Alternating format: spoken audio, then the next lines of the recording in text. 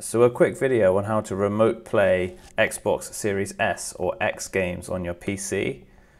We'll follow the instructions from my blog page, which I keep up to date as Microsoft make updates here. The steps here are very quick, there's just five of them.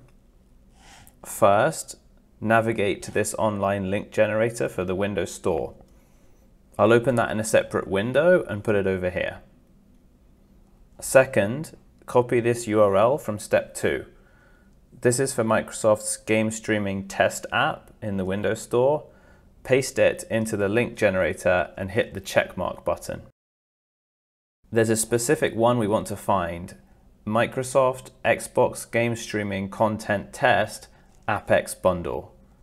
Copy and paste the exact URL from step three and then search for it on the link generator page. Okay, there it is. Right click and save this somewhere. It doesn't matter where. When the file downloads, you might get a security error. Just click this arrow, select Keep, and then Open. The installer will start. Click Install.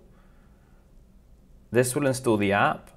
It won't take long, and then Xbox Game Streaming Test app will launch.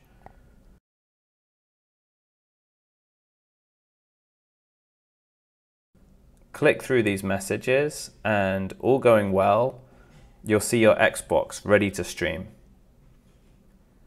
You might need to sign in with your Xbox account. You can do that in the top right. When you're ready, left click and press continue.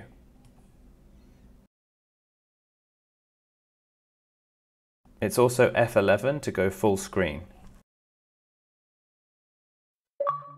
We're connected. Just use your PC gamepad to navigate the Xbox UI and play games. I'll start a game so you can see what this looks like. Control, quick resume. Generally the experience is very good. There is some latency and macro blocking. Something like Control here is perfectly playable, but maybe a Twitch shooter or a racer isn't well suited. Anything slower paced will work perfectly. I'll let this run for a bit so you can see the experience. There's a hole hidden behind that poster that leads to the real world. We all feel safe in that room. But sometimes, sometimes something crawls out from behind the poster.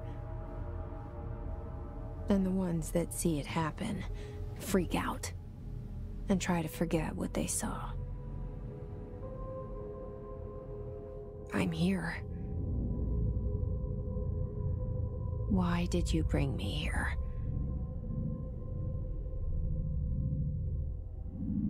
Hello?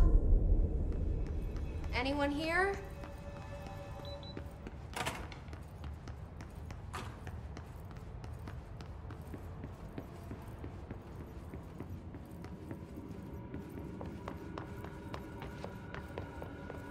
Federal Bureau of Control. All these years I've been looking for them and they were hiding in plain sight.